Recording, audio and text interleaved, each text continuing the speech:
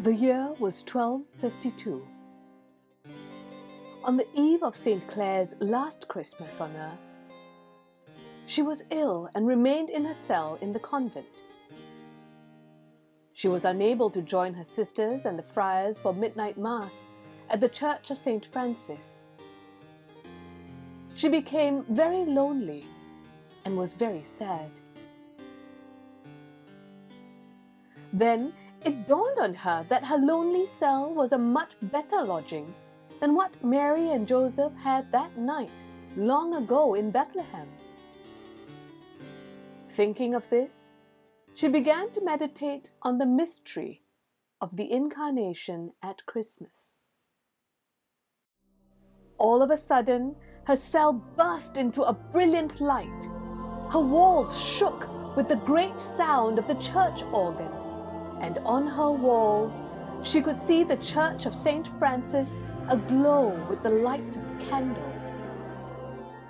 She watched as the priest ascended the high altar to celebrate the Mass.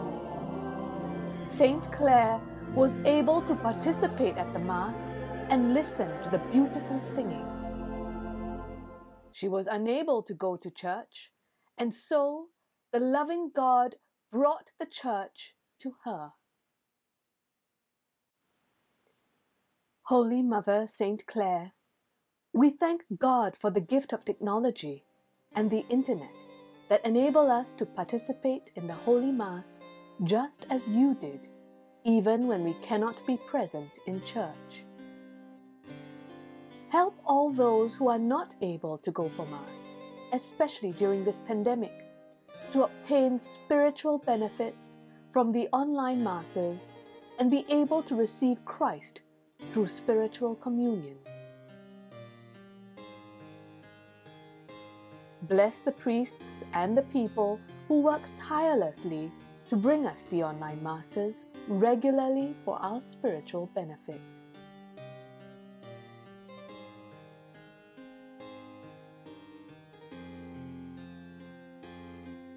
Saint Clare of Assisi, pray for us.